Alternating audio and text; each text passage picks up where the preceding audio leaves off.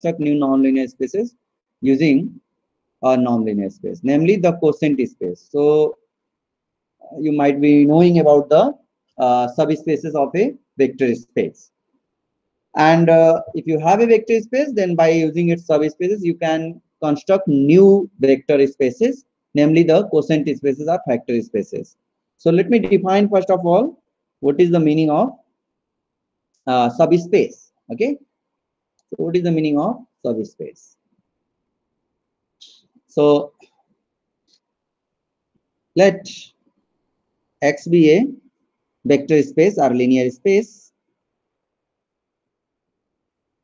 over K, a field. Okay. So you can write in general a subset or a non-empty subset M of X is a subspace if and only if actually this is a theorem. If and only if alpha x plus beta y belongs to m for all alpha beta in f okay and all x and y in m. So meaning is that if this is x and this is your m right x and y is here and alpha and beta are any two scalars then the meaning is like this okay? So meaning is that this will be a subspace if this condition holds right? Okay. So uh, actually if we define a relation on x namely uh, equivalence relation so then that equivalence relation will partition the set x into disjoint equivalence classes so there is a very beautiful result, a fundamental theorem on equivalence relation that if on any set you define an equivalence relation, then that equivalence relation partitions the set. Partitions the set means into disjoint equivalence classes. Conversely, if you have a partition of the set, then there is an equivalence relation whose equivalence classes are the partitioned subsets of that set. Okay. So I'm not going into that. There is a um, this is this theorem is called fundamental theorem on equivalence relation. So you may see any book. So first of all, let us define. Let M be a subspace of a linear space X. Okay. Consider a relation on x by x is related to y if and only if x belongs to m okay? So this is the uh, definition. So we prove that this is an equivalence relation actually. So number one x minus x is equal to zero vector which is always in M. Why? Because M is a subspace, right? So this implies that X is related to X for all X in X.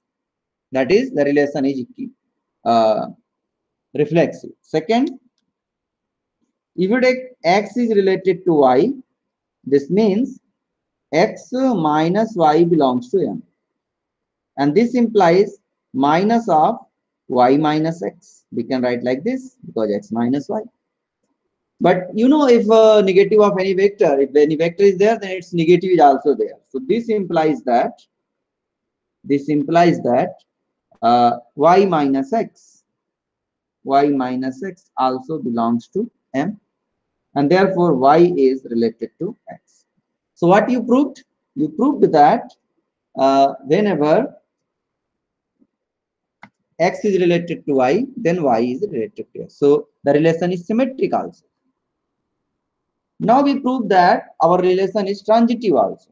Number three, if we take like this, uh, suppose x is related to y, y is related to z, this implies x minus y belongs to m and y minus z belongs to m. So what you have? You have that Okay. So this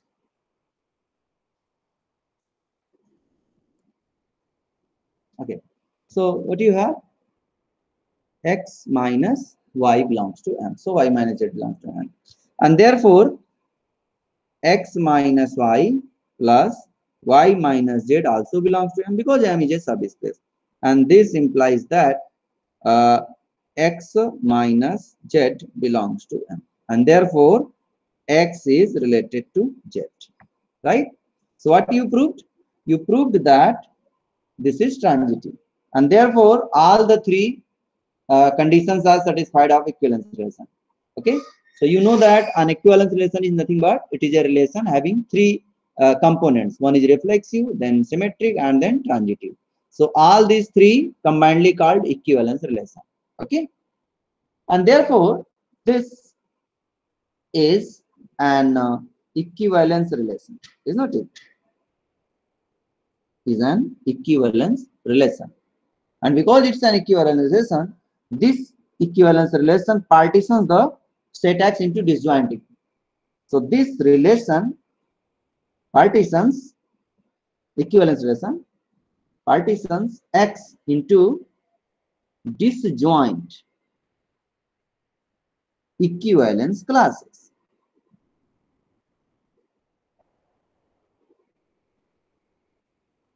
And the set of all equivalence classes will be denoted by the set of all equivalence classes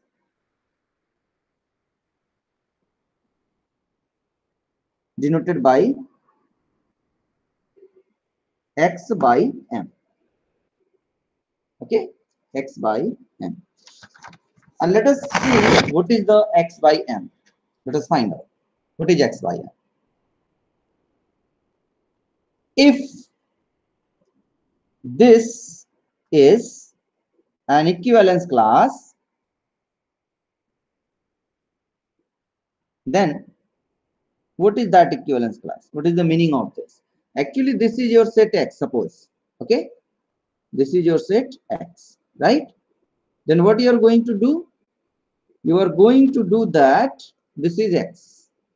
So in this x you defined an equivalence relation that partitions the set into disjoint equivalence classes so for example your classes a primary school can be decomposed into five classes first class class 2 class 3 class 4 class 5 right so similarly this can be partitioned into disjoint equivalence classes so if someone is studying in class 1 cannot uh, study in class 2 in class 3 in class 4 in class 5 right you are studying in msc third sem. That means you cannot enter in BSc second.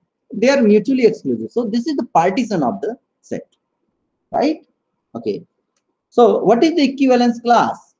So for example, in your class, the, the relation is equivalence relation is class fellow relation. So the same thing is here also, right? What is the thing?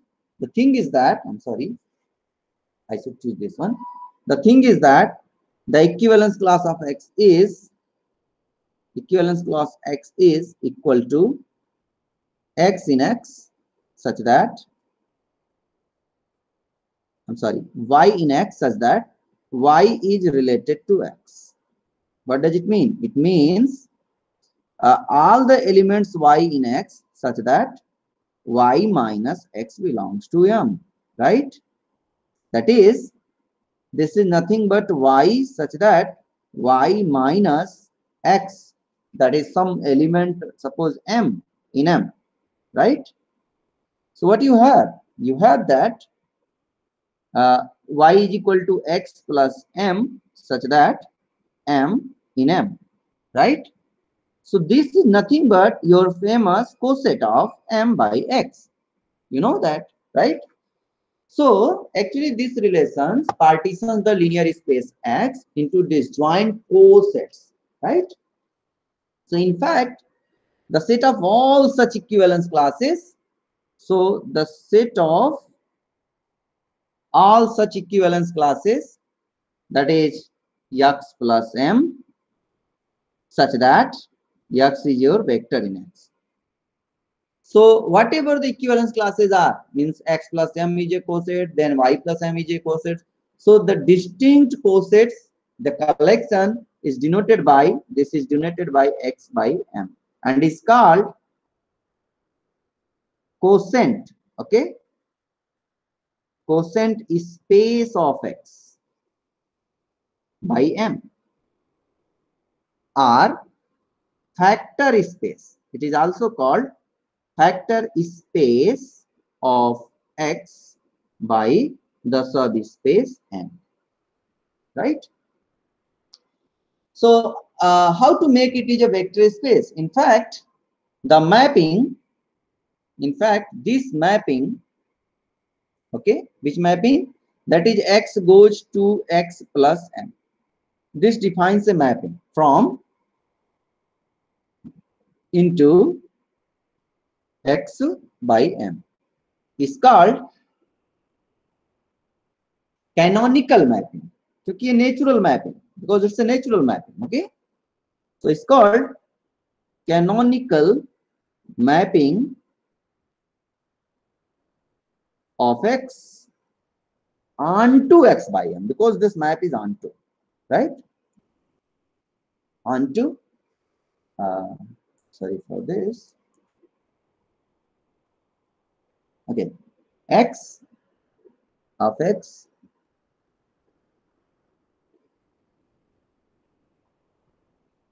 uh, onto x by m right? So we now introduce we now introduce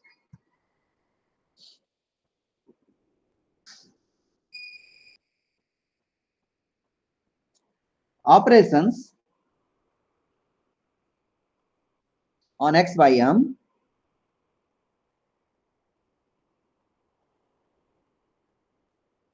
by defining in this way. X plus m is a coset y plus m is a coset defined as x plus y plus m right? Similarly, if alpha is any scalar in K and uh, x plus m is a coset, means the equivalence class defined in that way, right? Defined in this is called, is defined as alpha into x plus m. Alpha into x plus m is defined as alpha x plus m. Okay.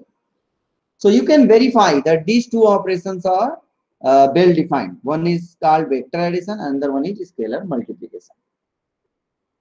So actually we must prove that these are well defined means this x plus m and y plus m x plus m plus y plus m is equal to x plus y plus m. Meaning is that uh, see for a coset this x is not important. If x plus m suppose here uh, for example here right? If x plus m suppose this is the coset x plus m okay? Suppose sorry this. This is your x plus m. So if this coset is x plus m so uh, if you take any element y here then it is y plus m okay for example you are studying in msc third msc third semester that's mean uh, the class of the class fellows of a the class of A is the same as class of B if A and B are studying in the same class. So first of all, we prove that the operations are well defined. So let us prove. So we prove that the operations are well defined. Okay. So first of all, we prove operations are well defined.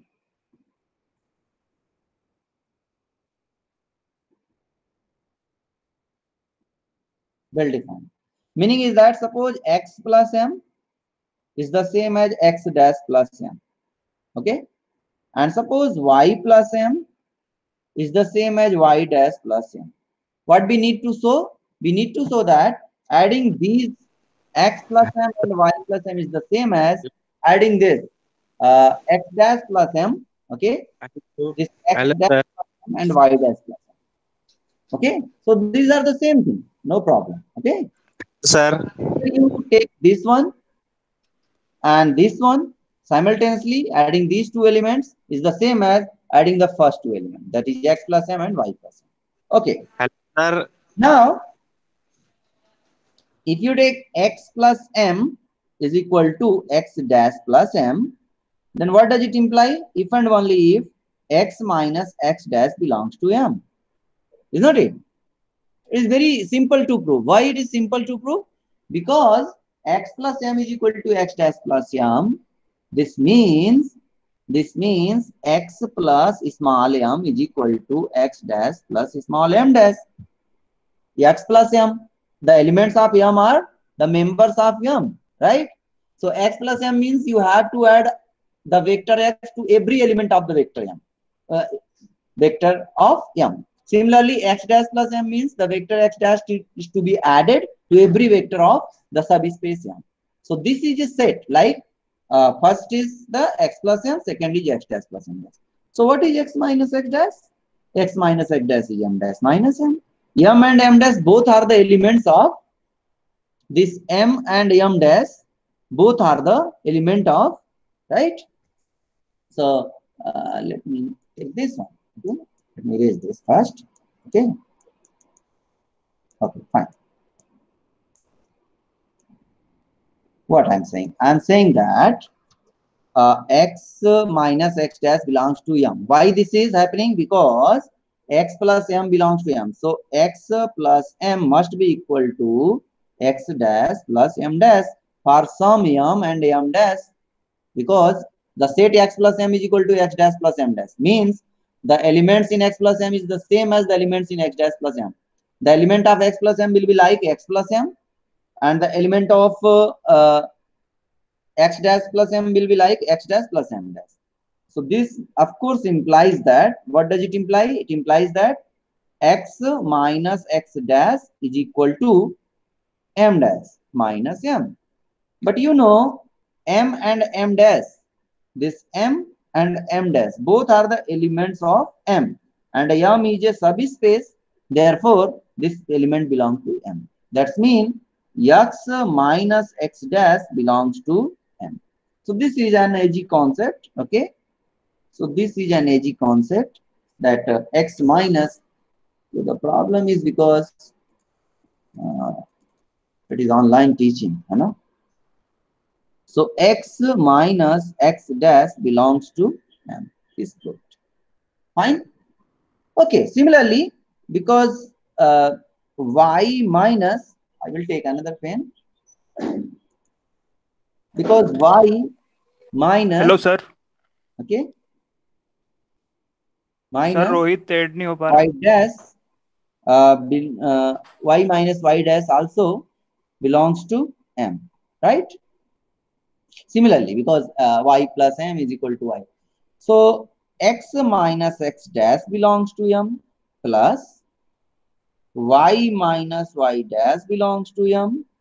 So both the are elements, both are elements of uh, m. So this belongs. So what you have x plus x plus uh, x x plus y minus x dash plus y dash belongs to m.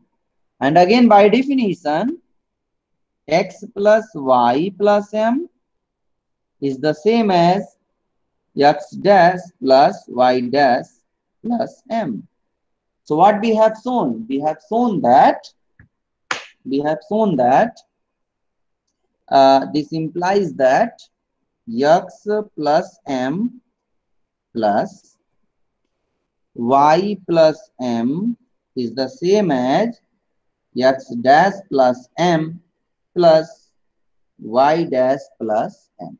That is, it is independent of the elements, it is independent of the representative. That is, if you replace the representative x plus m is a coset, this is the same coset uh, here, uh, this is the same coset, coset x dash plus m but here it is represented by the x element it is represented by the x dash element but both are same So that's mean the addition is well defined in the sense if you uh, if your representations are different, the sum is not different. Sum will be same.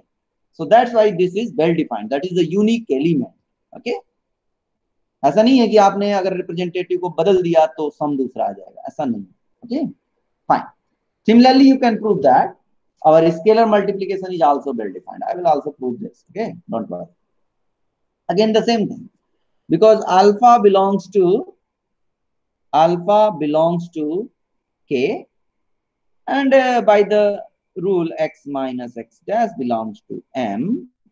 So therefore alpha times x minus x dash belongs to m.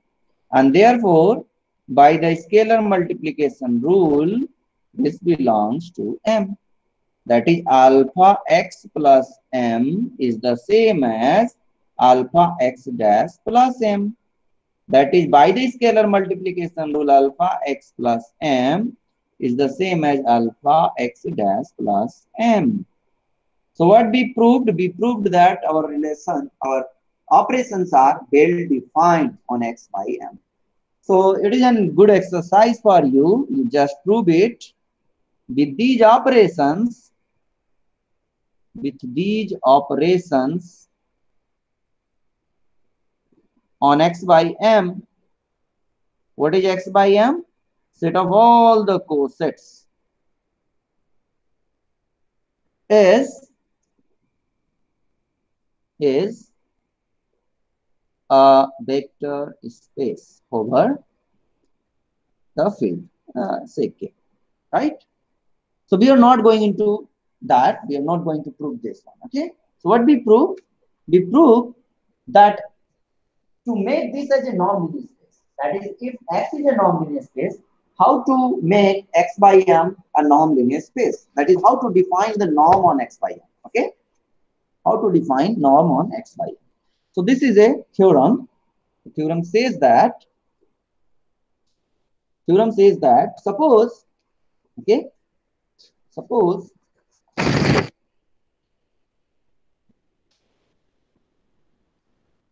what is the theorem? So theorem says like this let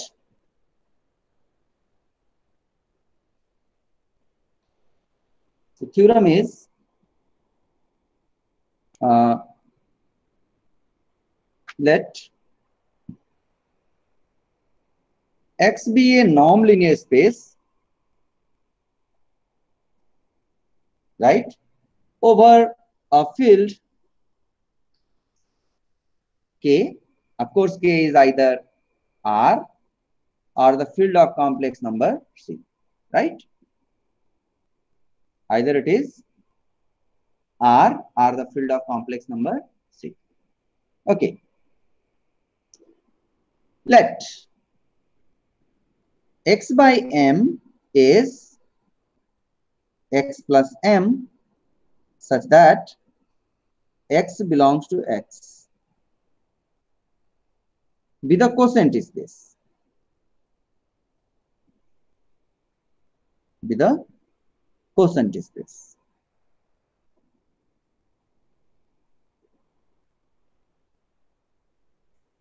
of x by m. Then for m plus x or x plus m in uh, x by m,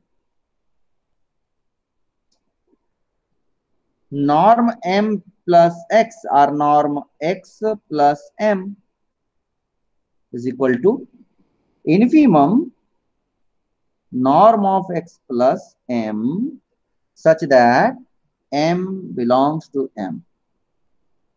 Defines a norm on x by m.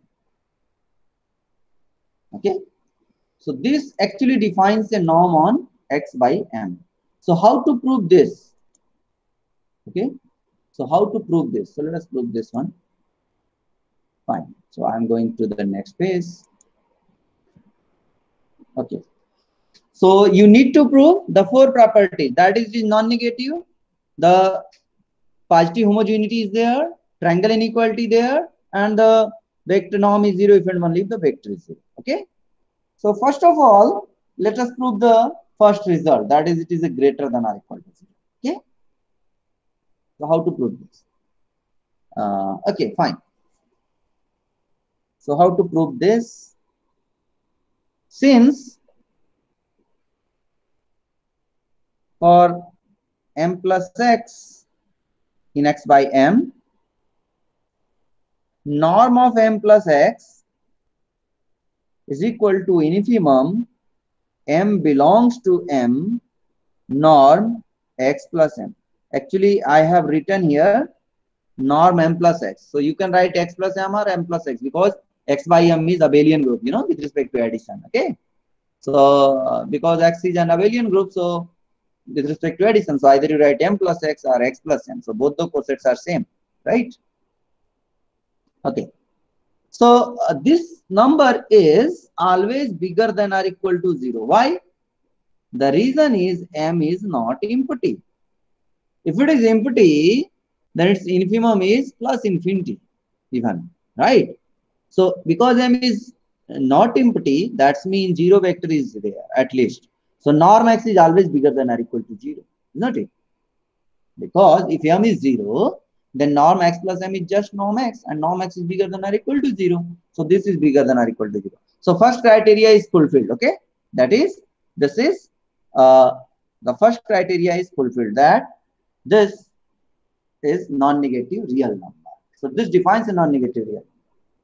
Now, second, second you need to prove that alpha times x plus m, its norm must be is equal to mod alpha norm of x plus m, right? For all alpha in k and for all x in x, that is x plus m. I'm sorry.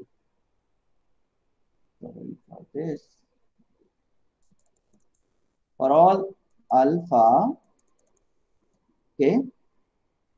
So here, yeah for all alpha in K and for all X in X.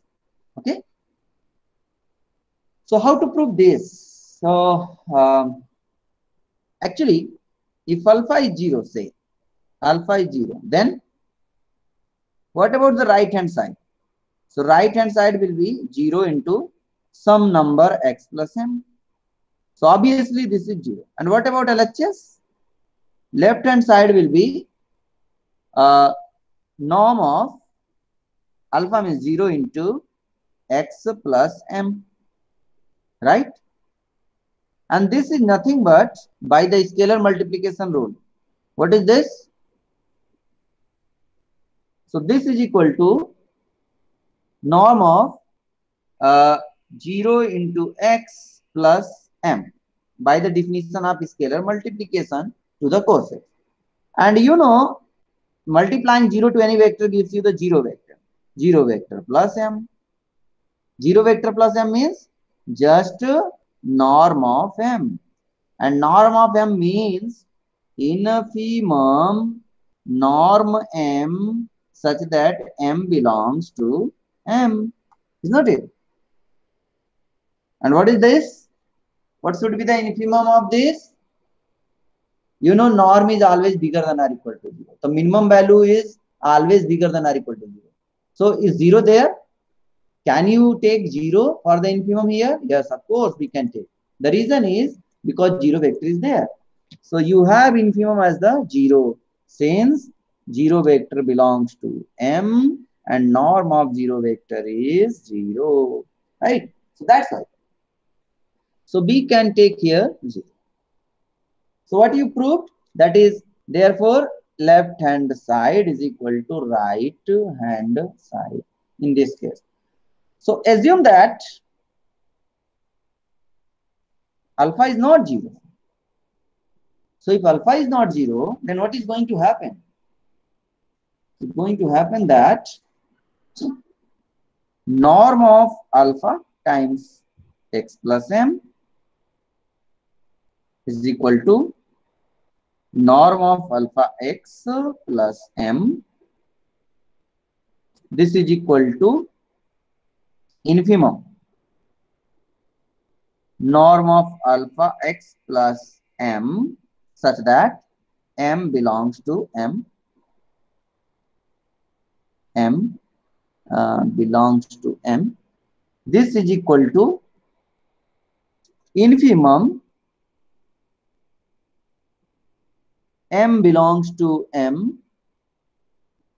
i can write here norm alpha x is already there right plus uh, let me write here. Let me write here. Alpha m, here I am writing alpha m.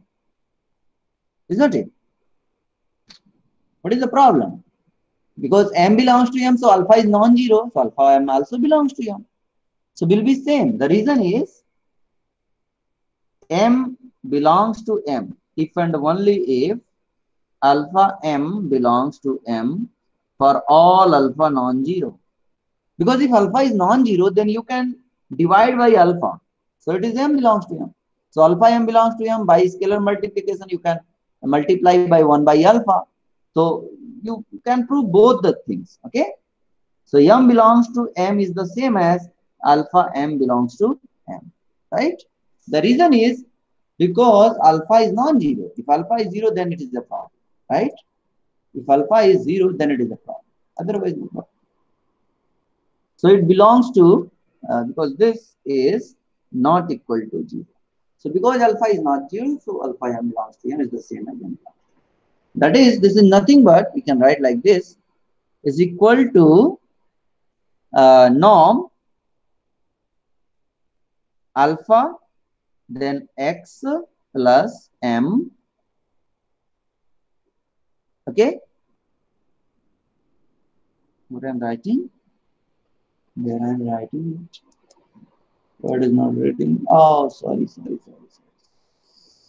Mistake some mistake some oh sorry. Okay. So i'm writing here. So this is equal to infimum uh, m belongs to m and here we can write norm alpha x plus m again you must note that in the this line you have alpha m belongs to m and in this line m belongs to m. So both the infimum are same because already i have given the reason here. Okay? So what is the reason? Reason is given that uh, this is the reason. Okay? So this reason is given here that is m belongs to m is the same as alpha m belongs to m. And alpha m belongs to m is the same as m belongs to m. So i can write like this. So because let me add one more page. Because this is equal to m belongs to m infimum of mod alpha shall be taken outside norm x plus m.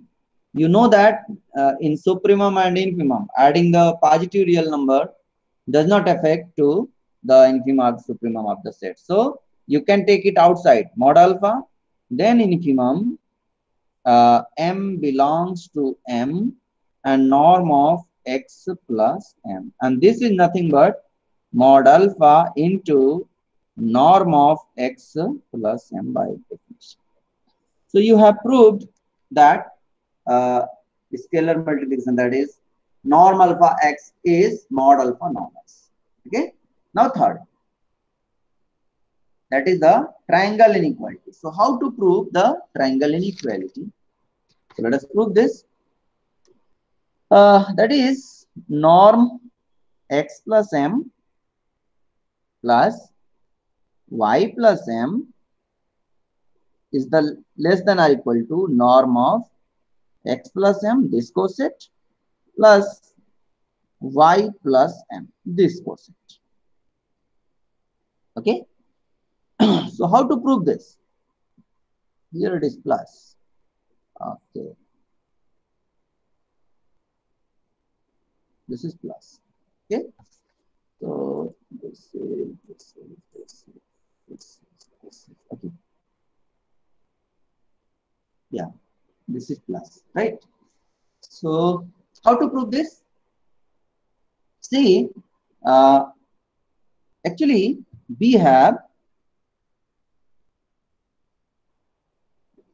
we have norm m plus x by definition is infimum of norm m plus x. m belongs to m, right? Is it okay? So, you know, uh, because this numbers, this norm m plus x, right? These numbers, these numbers, m plus x, this number, I'm talking about this number. If you vary m, then you have many non-negative real numbers. For m1, another real number. For m2 plus x, norm m2 plus x, another number. Norm m3 plus x, another number. Because m is there are infinitely many m maybe if m is non-zero, right? So, what about this? So, you know, uh, there is a criterion of sequential criterion. That's mean if you have a set of real number and its uh, infimum is something, then there is a sequence in that set which converges to that infimum. If this is a subset of a real number and its supremum is this, then there is a sequence in that set which converges to that real number. So this is the criterion. So you can understand that. Okay. So let us put this. Therefore,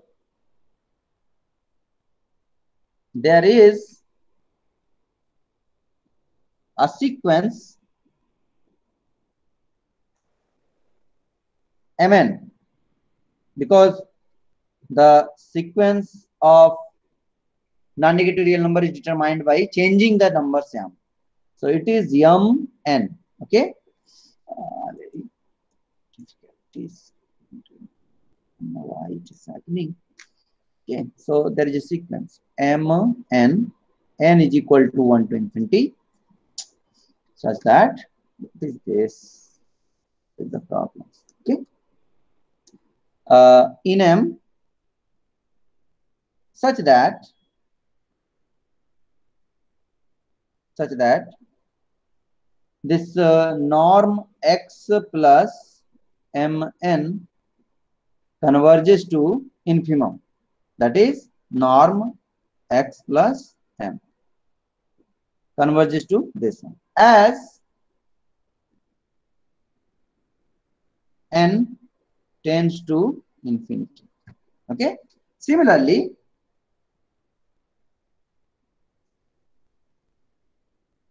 there is a sequence mn dash.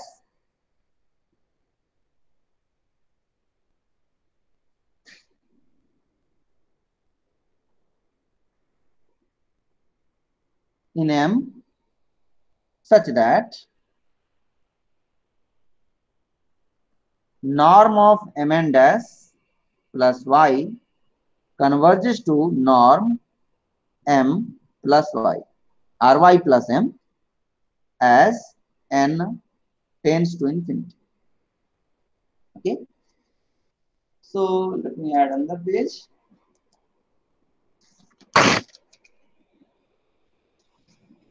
Fine. Now,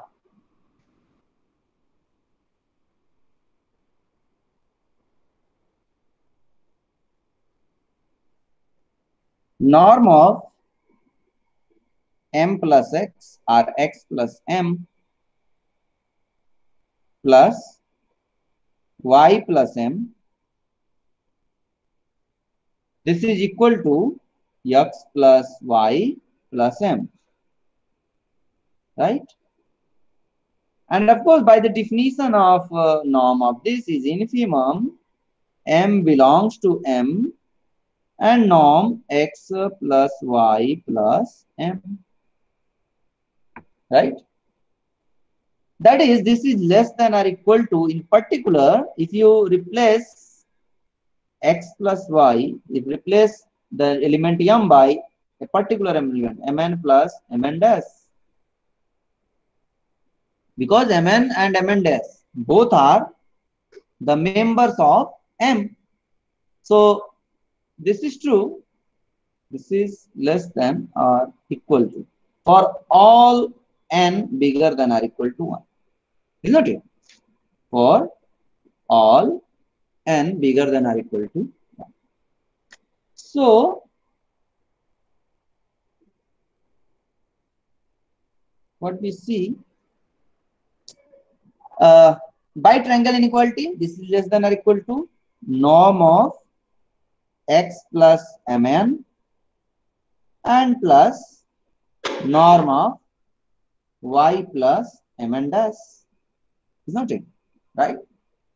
Now this is true for all n this is true for all n bigger than or equal to 1 so taking the limit. So therefore norm of x plus m plus y plus m is less than or equal to limit n tends to infinity norm x plus mn and then plus limit uh, n tends to infinity. In fact you can write like this plus the norm of y plus mn dash right? Like this. So then you can distribute this limit okay? So you just distribute this limit by the definition, right? So this is equal to limit n tends to infinity norm x plus mn. And then plus limit n tends to infinity norm of y plus mn. Dash. Now this converges to norm of x plus m.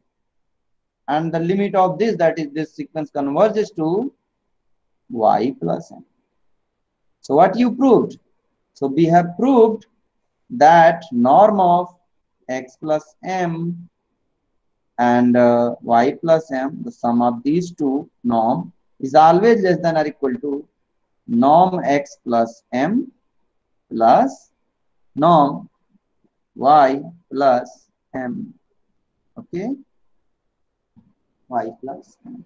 So we proved the fourth. Uh, what do you need to prove? Uh, let, yeah, here. Let M be a closed subspace of X. of X. Then you need to let, okay, X by M is this be the quotient space of x by m. Then for x plus m belonging to x by m, okay, belonging to x by m, this defines a norm on x. So it is necessary that m must be closed. Otherwise, we cannot prove the equality result. Okay, so let us come to here. Okay, fine. So let me choose the green pen now. Yeah, fourth. So what is the fourth condition? Fourth condition is that norm of x plus m is 0 if and only if uh, the vector x is what? 0. The vector x is 0 or x belongs to m. What you should write? Huh? you should write x belongs to m. The meaning is that if and only if x plus m is 0 of 0 of x by m. And what is 0 of x by m? 0 of x by m is just m vector, right? So you need to prove that it is m vector. That is just m. Okay, so if and only if m plus x is m right? So that is x plus m is 0, norm of x plus m is 0 if and only if this vector, this coset x by m is the 0 coset, that is m. You have to prove, right?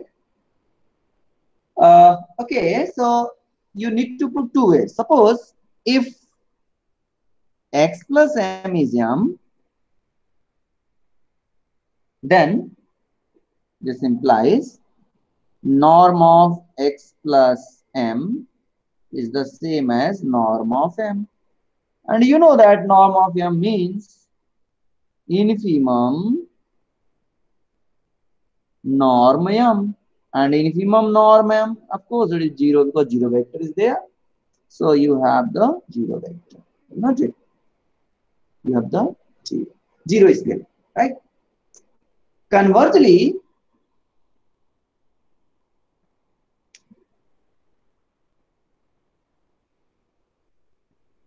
conversely, assume that norm of x plus m is 0. By definition, that is infimum norm x plus m such that m is in m is 0. So, there is a sequence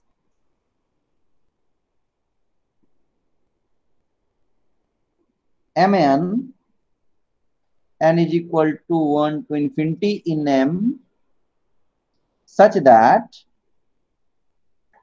norm of x plus mn converges to 0 right? Norm of x plus mn converges to 0 and therefore therefore x plus mn converges to 0 in x. Therefore, x plus mn, in fact, you can write minus 0 vector like this, converges to 0 scalar as n tends to infinity. Okay? So what you see? You see that this vector converges to 0 vector. So that is x plus mn converges to 0 vector right? As n tends to infinity. But uh, you know, x is not going to change. That means mn tends to minus x, right? Because addition is continuous. Addition is continuous. So that's why this is happening.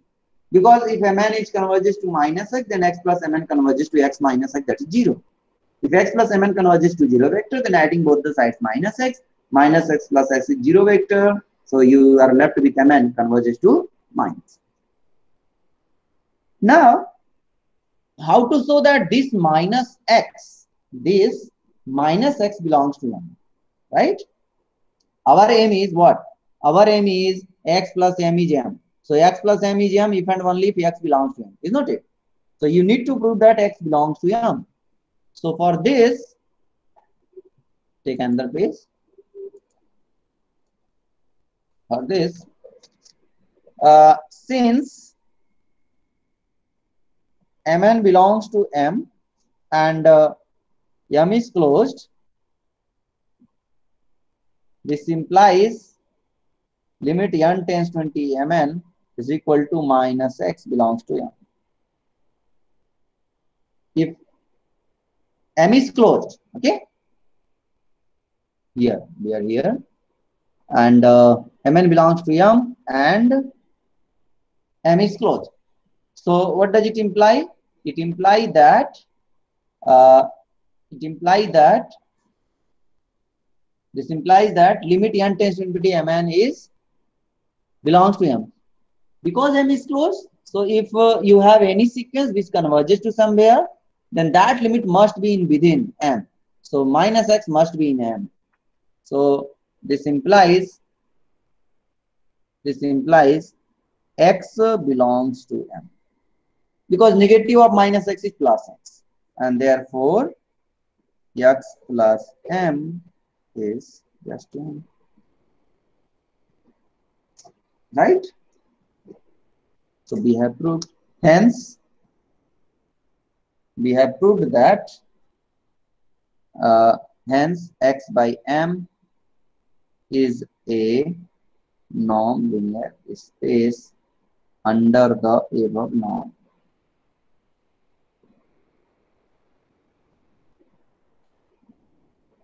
Okay, so we are done today. In next uh, you may remark also here. What is the remark? Remark is that if M is not closed, M not closed, then x by m need not be need not be a norm linear space under the norm under norm need not be a norm. Norm linear space.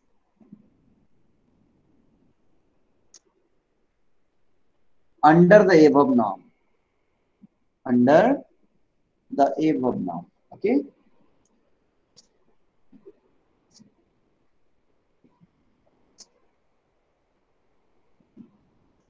So you can prove this not going to this. So proof is an exercise for you to do this